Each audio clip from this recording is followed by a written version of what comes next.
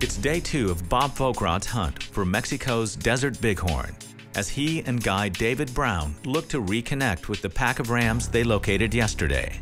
It didn't take you long to find them, Dave. Right where they were at last night. What do you say? Get stuff packed up here and get a little closer and probably gonna have to go up through this canyon here. So pack all our gear and get after it. It'll be an all dayer. So we made a game plan. We had about a two mile walk, which realistically is like walking in snow and the sand kind of, you know, comes out from under your feet. So about two hours we were at the base of the mountain. About a two mile hike so far up in the sand, which is like four miles when you're walking through the sand.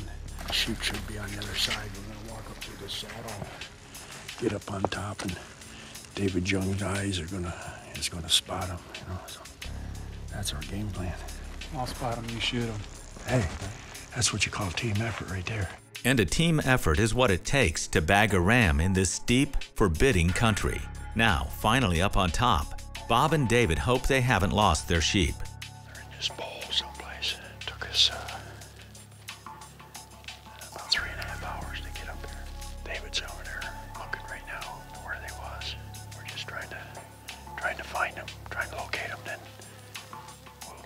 Reposition ourselves in there for a shot.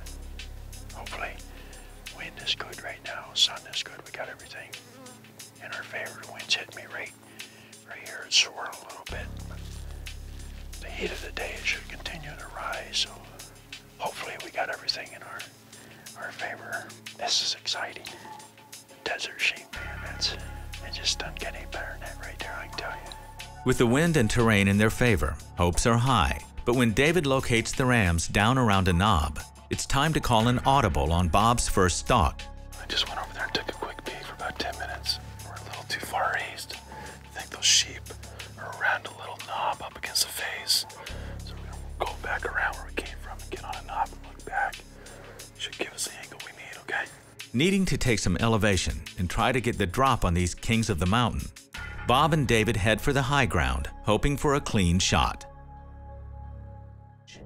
Let me tell you about this climb. You know, it's one thing going through the sand. You know, it took us a couple hours just to get to the bottom of the hill. Now we got to make this climb. And I don't care where you are, sheep hunting is sheep hunting. In this particular place, I mean, it's uh, big boulders and there was sand and cactuses and everything. And then we had to cross over. We had to come back down over over a cliff and there was some there were some hairy places where you you basically respected it you took your time and I was using my walking stick and you know, and, and, and the thing about when you get into those places like that, it's basically slow yourself down, take your time.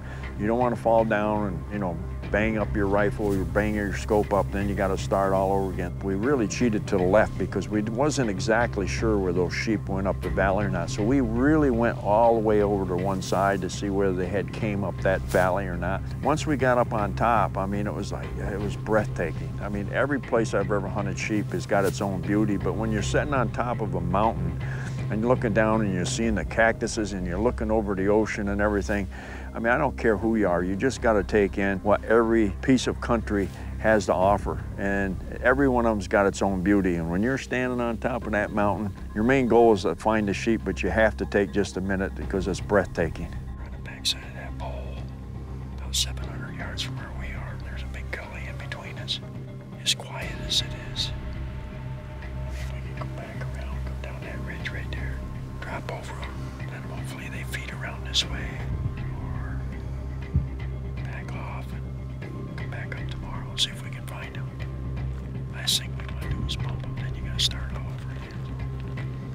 Again. This country and knows what he can get away with. Right now, we're just gonna drop off and continue to glass and look on the hillside. So we dropped down and we came down this one chute. I mean, it's, it's pretty steep. Took several hours, a lot of getting in position that we thought we were in that was going to be in a good position. It wasn't, so we just kept funneling down the ridge. And we got down and we glassed again and we couldn't find them. They was just over that crown just a little bit where we couldn't see them. I said, okay, we're gonna make one more move. We're talking all day now. We left at seven o'clock in the morning and it's, you know, it's pushing 3.30, quarter to four. Finally got in a spot we weren't going to go any further. The wind was going to get bad for us. I made the decision that if they didn't come back and funnel back into that canyon, that we were going to back out and come back in the next morning. We decided, okay, we're going to set up here. We're going to wait till dark. Hopefully they cross back over. As it turned out, it worked out perfect. The rams finally fed through, came back on the same funnel. We just kind of dropped our packs and everything, and I just started to pull my rifle and my tripod out of my pack. And Dave says, right there they are. Right there, they just come around the corner. There's four of them in the group. Let's go ahead and get set up. I'm gonna get my scope out. At long last, the rams appear. Now it's time to relax, think like a predator, and let that Winchester do its job. It's the heat of the moment, and Bob is ready. I got real comfortable. I'm sitting there, and it's just, I mean, almost like shooting off a bench the way I'm set up right now. Got him. Got him. He's the second one down. The top one's got really heavy tips, but the other one's a little longer. He's got the build you're looking for, Bob, where he kicks out. Is that the one you want? Yeah. Okay.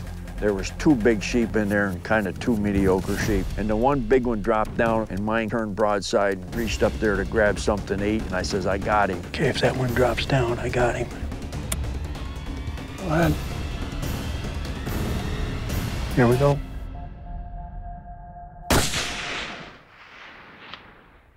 Down he is. Good shot, Bob. Man, I squeezed it off and boom, poleaxed him and he went down.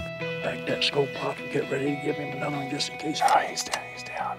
We didn't want to bust him out because he's got other hunters in there, so we just kind of took our time. took us about an hour or an hour and a half to get to where they, they finally was. And then when we got up to him, it was like, oh my goodness, there was actually no ground shrinkage at all. Right there she is, man.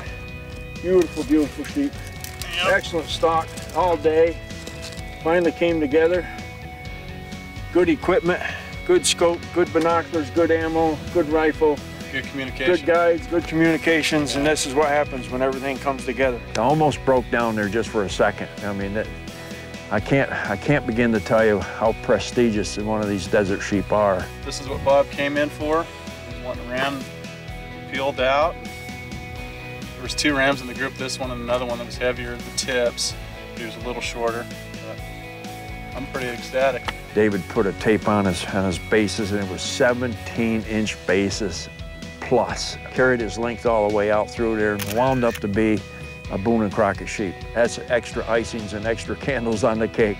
There's a beautiful desert sheep right there. Bob. You did excellent, man. No trophy ram ever comes easy, and Bob Foulkrod has earned this Boone and Crockett Desert Bighorn with hard work, calm nerves, and all the right tools.